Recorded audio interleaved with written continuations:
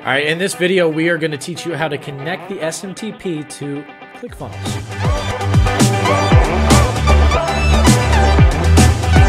All right, what's up, everybody? Today, we're going to be doing the SMTP integration with ClickFunnels. Uh, we are also going to quickly uh, give an example of how to set up a your DNS records to uh, to verify it, so you can set it up with your SMTP. That's actually where a lot of people get messed up.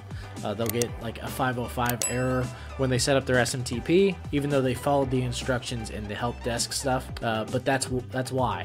It's because you didn't verify your your uh, your domain. So that's what we're gonna do today. Um, I've already got mine set up. So if you want me to remove it and then reset it up completely instead of doing it this way, just post down in the comments. We can make another video. It's not hard, uh, but in this one, I'm just gonna kind of run through it and explain it and hopefully you guys can get it from that. If not like i said post in the comments. We can completely remove everything take away the verifications and do it that way. Uh, let's get into it real quick.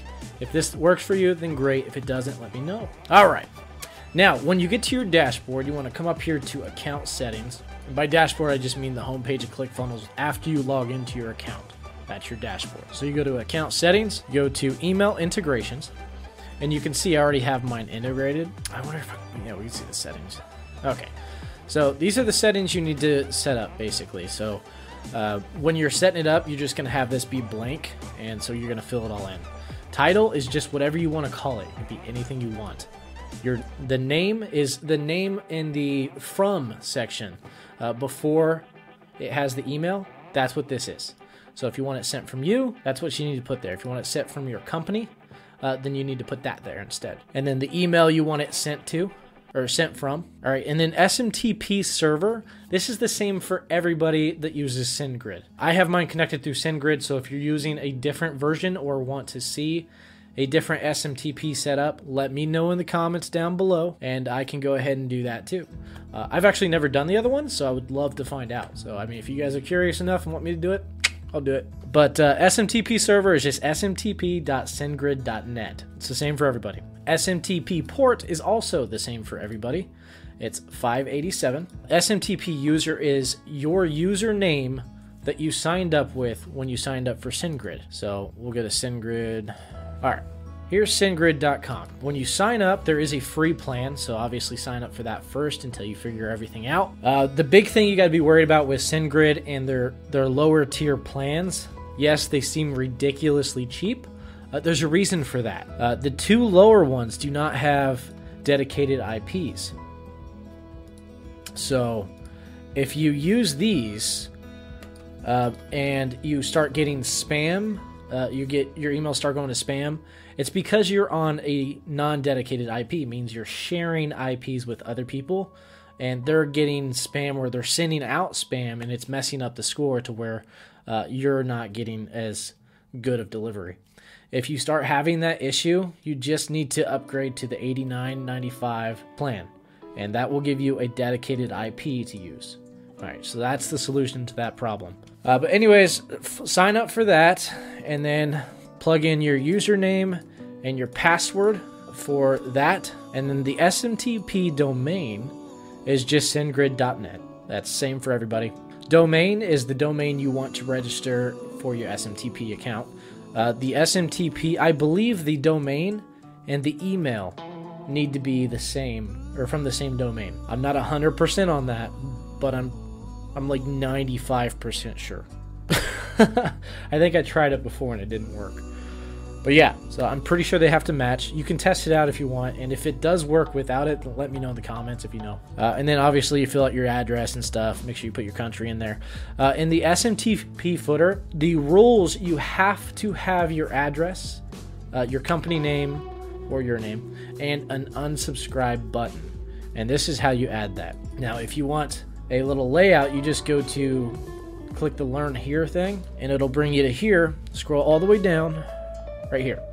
It gives you just copy that and then change out the the name, the address, and the phone number if you want a phone number on there. I personally don't include a phone number on mine, so that's just me. Completely up to you there.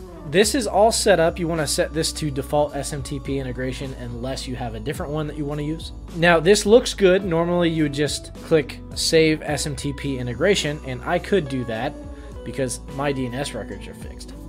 But if you haven't done that, you need to go to your account. Here, we'll go to the main part. So when you log in to your account for SendGrid, this is what you're going to see. So you go down the side here, go to Settings,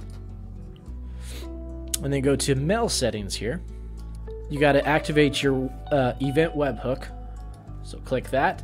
This will actually be disabled, so you want to enable that. And then here, go back over to ClickFunnels. Click this here. Copy that. Paste that in here and then click dropped, bounced, unsubscribed, and spam reports. Remember, remember to enable it. And then just hit save. So that'll that'll show up enabled at that point. All right, now we have to authenticate your domain. So we go here. Obviously mine's done already. But anyways, when you authenticate your domain, you just click on that. You click whatever host you try to you scroll down find the host for your domain uh, so if it's not on there which mine isn't actually so I would click put Bluehost here. Now this here is just if you want to brand the links for your domain instead of SendGrid's. Not that big of a deal, it's just personal preference. Click next. Then you type in the domain you want to use. All right, and then there. These are the DNS records you have to change. You have to change the CNAMEs. So you go to your host, your domain host. Now, if yours is Bluehost, then this is going to be exactly what you do because that's that's who I use. Uh, they're cheap, easy, and that's where I have my blog hosted too. So, but yeah, you go down to domains. Now, Bluehost is a little bit finicky. You have to get to the zone editor, and it's a pain in the ass to get there. So, just go to subdomains, and that'll pop up the zone editor down here. I don't, I don't know why it's like that. See, it just popped up on the side.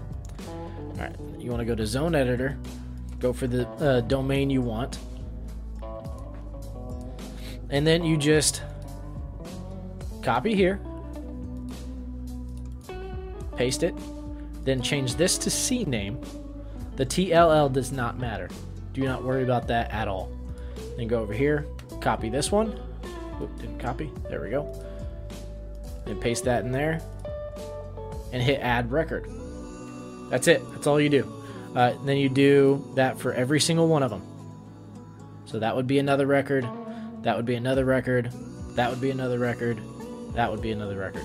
Then after you do all that, you click this right here and hit verify. It's not going to confirm because I didn't do it. This is what you'll get usually right after you do it. So don't expect it to just automatically go through. This even did it for me, and I know for a fact I didn't mess it up. So sometimes you just have to wait about 20 minutes.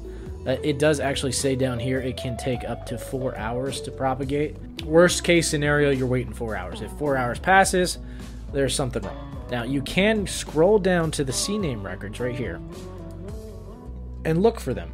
They're usually at the bottom if you just put them in. And you can verify if they match up. Okay?